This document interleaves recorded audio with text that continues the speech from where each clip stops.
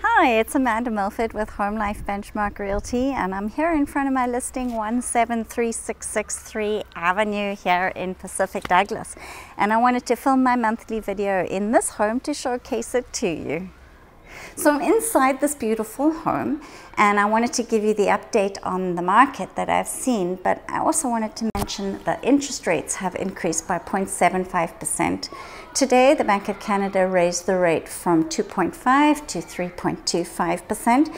This is going to have effect on the amount of money that people can borrow when going and looking for a home. So it will start to have downward pressure on the market and pricing in the market.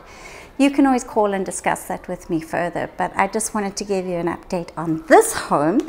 It's beautiful. It's got a five bedroom, a four bathroom home overlooking the park um, in here in Pacific Douglas.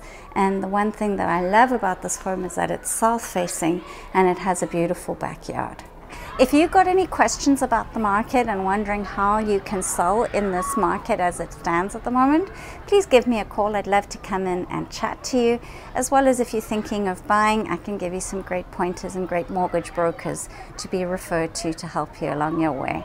I look forward to hearing from you and have a super day.